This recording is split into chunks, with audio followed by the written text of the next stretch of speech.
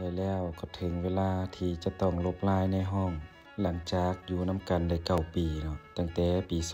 2014 สมัยเฮียนม .7 และปีนี้ก็ปี 2023ซึ่งว่าเมียมาอยู่นำเนาะมานอนในห้อง เมียว่านอนบ่หลับลายหูลายตาแฮงเวลานอนตื่นมาเนาะก็เห็นบางบ่เนาะเป็นหัวกะโหลกเมียว่าทาสีไหมทับดวนและปรับปรุงห้องใหมคือว่าแลยเนาะสมัยตอนโสดเนาะนอนห้องแบบใดก็ได้ แต่ว่าเดี๋ยวนี้สร้างครอบครัวแล้วก็ปรับปรุงห้องใหมทาสีเปลี่ยนใหม่หมด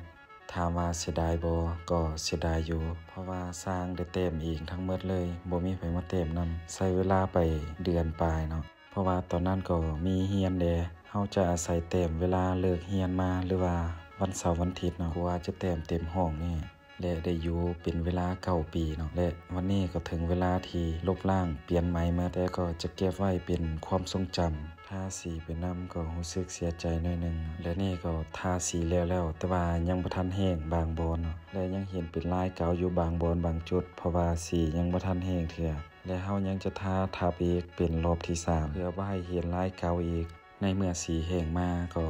จะออกมาประมาณนี้เนาะลายเก่าจะบ่เห็นเนาะเพราะว่าทาทับ3รอบสีแห้งแล้วหมดแล้วเฮาก็มาปรับปรุงห้องและเฮาก็ต้องยอมรับอดีตก็คืออดีต ปัจจุบันก็คือปัจจุบัน ปัจจุบันเฮาสร้างครอบครัวแล้วเฮาก็ต้องปรับปรุงเปลี่ยนใหม่